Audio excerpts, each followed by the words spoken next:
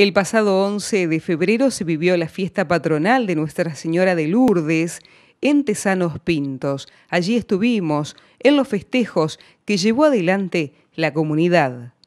Aunque el calor agobia, sin embargo mucha gente vino caminando desde la gruta de, Lourdes en, Oro Verde, que tenemos ahí en el barrio del Triangular, en la entrada del pueblo, y estamos llegando aquí a la gruta y aquí se ha congregado más gente de distintos lugares, de Oro Verde, también vecinos de Villa Fontana, de distintos lugares, de distintas localidades que quieren honrar a la Virgen de Lourdes, así que con mucha alegría vamos a celebrar una fiesta preciosa, ¿no? la Santa Misa, la procesión por el pueblo, ¿eh? así que por gracia de Dios la Virgen de Lourdes es patrona de los enfermos, así que también es importante creo eh, recordar eso, le vamos a pedir hoy a Dios que por intercesión de su madre que, que sane, porque eh, a eso hemos venido también, creo que todos tenemos algún familiar o alguna persona que tiene alguna necesidad, por eso le vamos a pedir a Dios que eh, derrame su gracia en esta noche. Es tradición acá en la zona.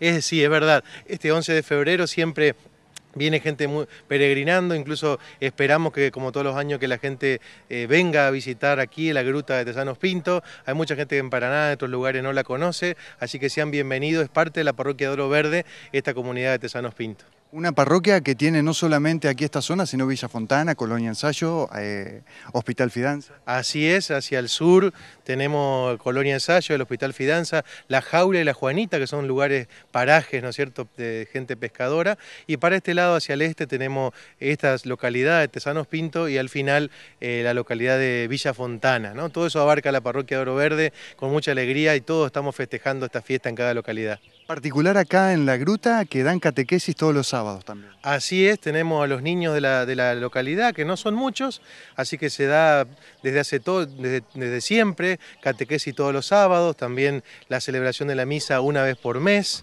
el último sábado de cada mes, y estamos ahora eh, alentando a la comunidad que pueda acercarse con alegría. Bueno, ¿las misas se hacen a qué horario? Siempre aquí son ahora en esta época de verano en la Santa Misa a las 20 horas, así que está la comunidad invitada a participar. ¿Y en invierno el horario?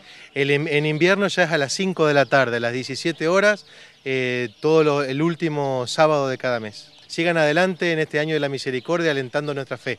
¡Viva, viva, viva, viva!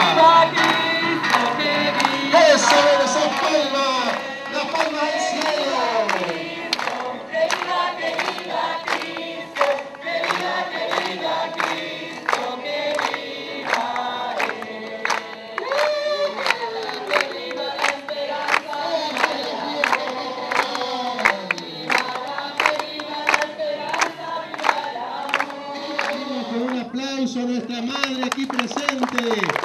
¡Viva, viva, viva, viva! Bienvenida, bienvenida. Este es el pueblo que la recibe.